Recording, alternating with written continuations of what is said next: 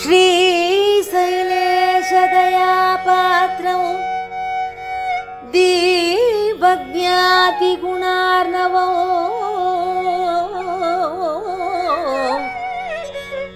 यतीन्द्रप्रवणं वन्दे रम्यजामातरं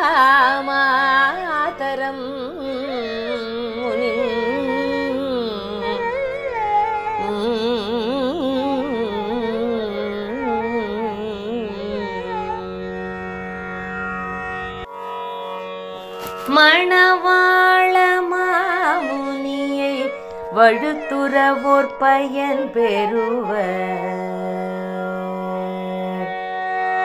மணவாள மாமுனியை வழுத்துறவோர் பயல் பெறுவர். மணவாள மாமுனியை வழுத்துறவோர் பயல் பெறுவர். குணமாக குன் மணவாள மாமுனியை வழுத்துறவோர் பயல் பெறுவர். குணமாக குண்மின் இதை கொடும் பிறவி பிணியகல் வீர்வனவாள மாமுனியை வழுத்துறவோர் பயல் பெறுவர்.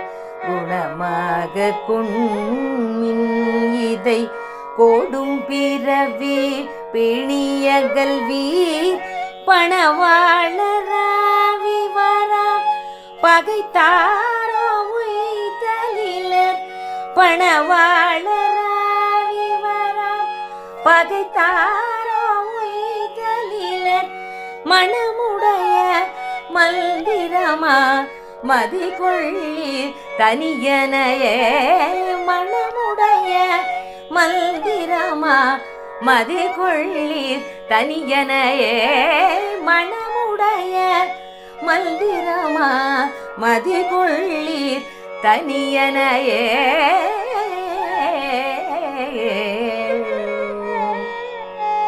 ஏ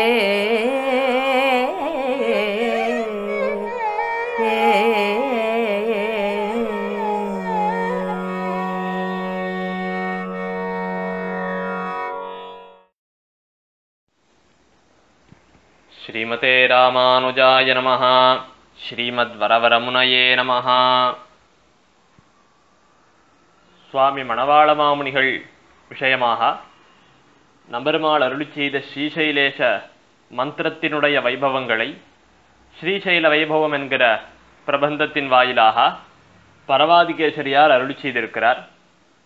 அதிலே நாலு பாசுரங்களுடைய அர்த்தங்களை இதுவரைக்கும் நாம் அனுபவித்திருக்கிறோம். இந்த நாலு பாசுரங்களிலும் இந்த ஸ்ரீசைலேஷ தனியன் எவ்வளவு சிறப்புடையது? இதை பெரியோர்கள் எல்லாரும் தங்களுடைய நித்திய அனுஷ்டானத்திலே கொண்டிருந்தார்கள். எம்பெருமானுடைய நியமனத்தினாலே இதை தினந்தோறும் அனுசந்தித்து நல்வாழ்வு பெற்றிருந்தார்கள். என்று அனுபவித்திருக்கிறோம்? தற்போது ஐந்தாவது பாசுரத்தை அனுபவிக்கவிருக்கிறோம். இதிலே மணவாள மாமுனிகள் உடைய பெருமை அவரை ஆசிரயித்தால் நமக்கு ஏற்படக்கூடிய நற்பேர் என்ன அவரை ஆசிரயிக்காதவர்களுக்கு நற்கதி கிட்டாது என்பதனை அருளி செய்திருக்கார். மணவாள மாமுனியை வழுத்துறவோர் பயன் பெறுவர். மணவாள மாமுனிகளை வழுத்துறவோர் மாமுனிகளை துதிக்கிறவர்கள் பயன் பெறுவர். பயன் பெறுவர்னா இந்த இடத்துல ஏதோ ஒரு சாதாரண அர்த்தம் சொல்லலை. அதாவது நாம் போய் மணவாள மாமனிகளை சேவிக்கிறோம். சேவிக்கிறதுனாலே நமக்கு வேண்டித்தெல்லாம் கொடுக்கக்கூடியவர் அப்படின்ற மாதிரியான அர்த்தத்திலே இவ்விடத்திலே பயன்பெறுவர் அப்படிங்கிறத சொல்லலை.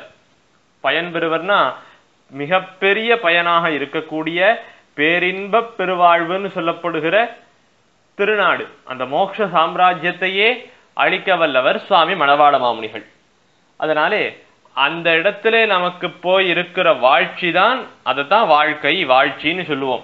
தாழ்ச்சி மத்தெங்கும் தவிர்ந்து நின் தாளினை கீழ் வாழ்ச்சி யான் சேரும் வகையருளாய் வந்தேன்னு ஆழ்வார் எம்பெருமான பிரார்த்தித்தார். என்று திருவாய்மொழியிலே நாம் அனுபவிக்கிறோம். அப்ப அங்கு வாழ்வதுதான் வாழ்ச்சி. அப்ப இங்க வாழறது வாழ்க்கையே கிடையாதான்னா இது ஏதோ போலே நாம் வாழ்ந்து கொண்டிருந்தாலும் நித்திய கைங்கரியமாகிற அந்த பெருவாழ்வு கிடைக்கலங்கிறச்சே இதெல்லாம் என்ன வாழ்வு? இது ஏதோ ஒரு போலே நாம் நம்முடைய தேக யாத்திரையை தானே நடத்திட்டு இருக்கோம். ஏதோ இந்த தேகத்தை ஒரு சாதனமாக வைத்துக்கொண்டு நம்முடைய ஆத்மாவுக்கு நன்மையை தேடிக்கணும். அதுக்காக இந்த வாழ்க்கைய இந்த உலக வாழ்க்கையை நம்ம அதுக்கு பிரயோகப்படுத்திக்கணுமே ஒழிய இதுதான் வாழ்க்கை. அப்படிங்கிற எண்ணம் நமக்கு கூடாது. அப்ப பயன்பெறுவர்னு சொல்லுவதினாலே பெருவாழ்வாக இருக்கக்கூடிய அந்த திருநாடு அதையே மணவாழ்வாமணிகள் நமக்கு அளிக்கிறார். பெருவாழ்வு தந்தருளும் பெருமாள் எங்கள் பெரிய பெருமாள்னு பிள்ளை பெருமாளையங்கார் சுவாமியும் திருவரங்கனை பத்தி வாசகங்கள் பாடியிருக்கார். அந்த பெருவாழ்வு அவர் தந்தருள்வரோ இல்லையோ?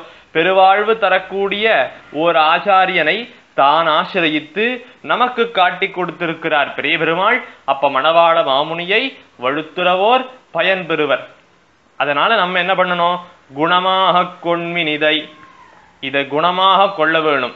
அதாவது இது எம்பெருமான் நமக்கு காட்டி கொடுத்திருக்கிற மிகப்பெரிய உபகாரம். மணவாள மாமுனிகள் நம்ம எம்பெருமானோடு சேர்ப்பிக்கிற ஆச்சாரியர் அப்படிங்கிறதை தெரிந்து கொள்ள வேணும். இது மணவாள மாமுனிகளுடைய ஒரு மிகச்சிறந்த கல்யாண குணமாக நாம் கொள்ள வேணும். குணமாக கொண்மினிதை கொடும் பிறவி பிணிய கல்வீர் கொடும் பிறவி பிணி. இப்போ ஏதோ இந்த நம்ம இந்த காலத்தில் இப்போ நாம் வாழக்கூடிய இந்த சந்தர்ப்பத்திலே ஒரு பிணின்னு சொல்லப்படுகிற ஒரு நோய் அதனோடே ஒரு பக்கமாக நம்ம போயின்னு இருக்கோம் அதிலிருந்து எப்படி தவிர்த்துக்கலாம்? அதிலிருந்து எப்படி நாம் மீண்டு வரணும்?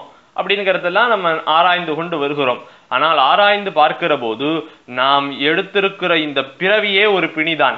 எருத்து கொடியுடையானும் பிரமனும் இந்திரனும் மத்து மறுத்தருமை பிறவி என்னும் நோய்க்கு மருந்தறிவாரும் இல்லை இந்த பிறவிங்கிற நோய்க்கு மருந்து சொல்லக்கூடியவர்கள் யாருமே கிடையாது.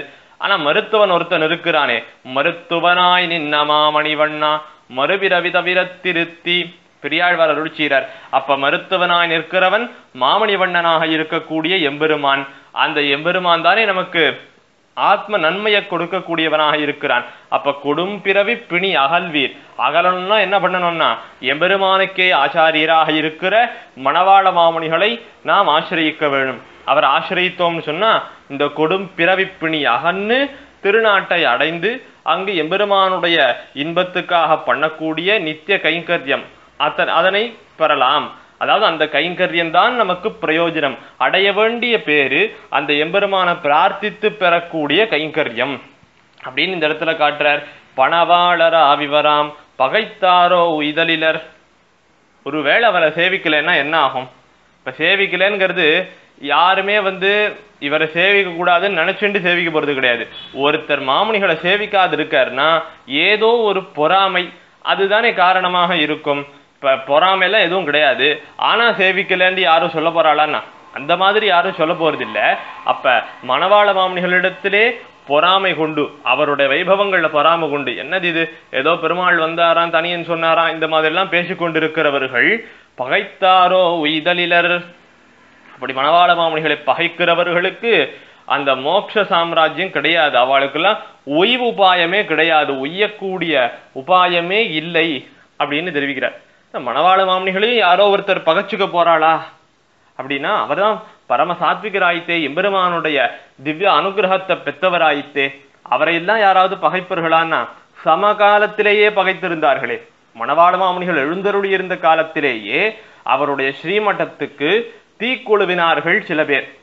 சில பேர்னா யாரோ கிடையாது. அவ ஏதோ வேத்து மதத்தை சேர்ந்தவாள்லாம் கிடையாது. ஸ்ரீ வைஷ்ணவர்களே தீக்குழுவினார்கள் ஆனால் அவர்களையும் அவர்களுக்கு கிடைக்க வேண்டிய அந்த ராஜ தண்டனை அந்த ராஜா அவர்களெல்லாம் தண்டிக்க முற்படுகிற பொழுது மணவாள மாமனிகள் தாமே அவர்களை தடுத்தார். வாழலாம் ஸ்ரீ வைஷ்ணவர்கள் இவர்களை தண்டிக்க கூடாதுன்னு மணவாள மாமனிகள் தாமே தடுத்திருக்கார்.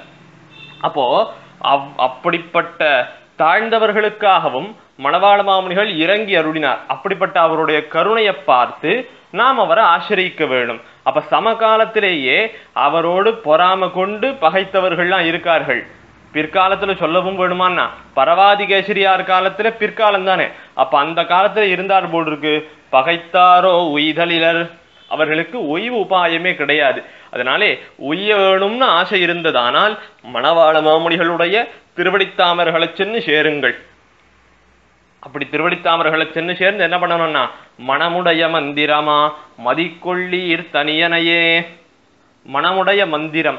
இதை நேற்றைய தினமே பார்த்திருக்கிறோம். தாரியலுமர் அங்கருக்கும் தமிழ்மறைக்கும் மணமாமே இப்படி அரங்கருக்கே மனம் சேர்ப்பதாய் தமிழ் மறையாகிற ஆழ்வார் அருளிச் செயல்களுக்கு மனம் சேர்ப்பதாக இருக்கக்கூடிய மந்திரமாக இந்த தனியனை மதிக்கொள்ளீர். நம்முடைய மனசிலே கொள்ள வேணும். இந்த தனியனுடைய அர்த்தத்தை மனசிலே கொள்ள வேணும். பெரிய பெருமாள் தாமே அருளிச் செய்த தனியன் என்கிற இந்த தனியனுடைய ஏத்தத்தை மனசிலே கொண்டு மணவாள மாமுனிகளை ஆசிரயித்திருந்து அவருடைய அனுக்கிரக விசேஷத்தினாலே எம்பெருமானை சென்று கிட்ட வேணும்.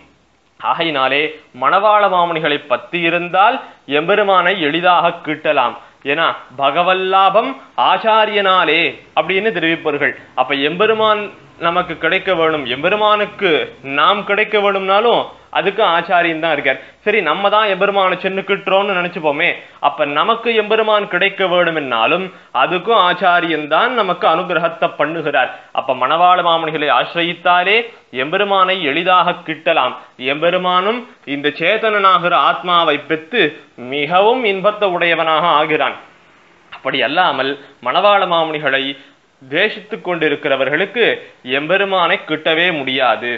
எத்தனை பக்தி பண்ணாலும் என்னிடத்துல மட்டும் எத்தனை பக்தி பண்ணாலும் அவன் என்னுடைய அடியவனாக ஆக மாட்டான் என்ன எம்பெருமான் தானே தெரிவிக்கிறான். ஏன்னா எம்பெருமானுடைய நியமனம் இருக்கிறது. என்னுடைய கைங்கரியங்களை தொடங்குவதற்கு முன்பாக இந்த தனியனை சொல்லிட்டு தான் தொடங்கணும் என்ன நியமனம் இருக்கிறது. அதுக்கு சேர பெரியோர்களும் இந்த தனியனை தங்களுடைய அனுஷ்டானத்திலே கொண்டு திருமண வேளையிலே அனுசந்திக்கிறார்கள். பகவத் பிரசாதத்தை ஸ்வீகரிக்கிற போது அனுசந்திக்கிறார்கள். அருளி செயல் கைங்கரின் தொடங்குறதுக்கு முன்னதாக அனுசந்திக்கிறார்கள். இது போக நம்ம நித்திய பாராயணங்கள்லாம் சில பேர் பண்ணிட்டு இருப்போம் ஸ்ரீராமாயணம் பாராயணம் பண்றோம் பாகவதம் பாராயணம் பண்றோம். இதெல்லாம் பண்றதுக்கு முன்பாகவும் அந்தந்த கிரந்தங்களுக்குன்னு சில தியான ஸ்லோகங்கள்லாம் இருக்கும்.